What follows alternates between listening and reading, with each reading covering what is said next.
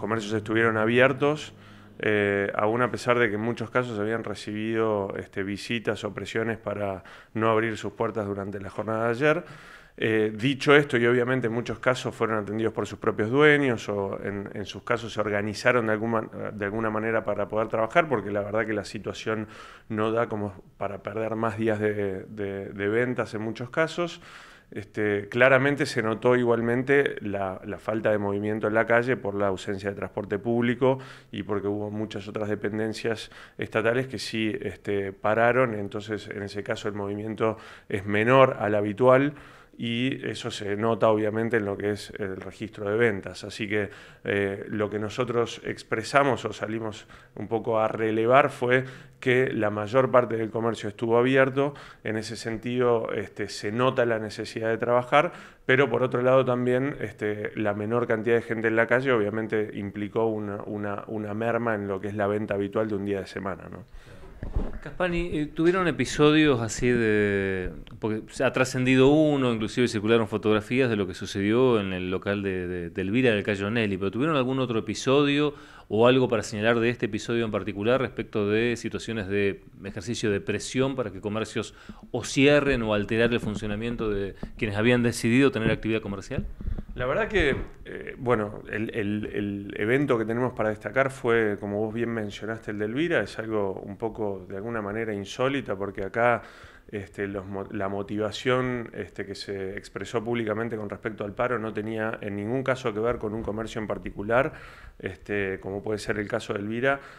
ni con una cuestión de la paritaria eh, comercial o, o, alguna otra negociación de sector, sino que tenía más que ver con políticas de ajuste del gobierno nacional, el acuerdo con el FMI y demás, y uno no entiende por qué en ese contexto tienen que ir a un comercio particular, como en este caso fue Elvira, y este, tocar los bombos allí. No, no, no se entendió realmente cuál fue este, el argumento y eh, la verdad que, hicimos todo lo posible para que se garantice la, la, posibilidad de trabajar de ese comercio. Este, pero bueno, se registró únicamente allí. Eh, quizás pasaron en, su vida ahí por algún otro, otro lugar, eh, pero nos sorprendió realmente. denunciado formalmente no han tenido ustedes nada.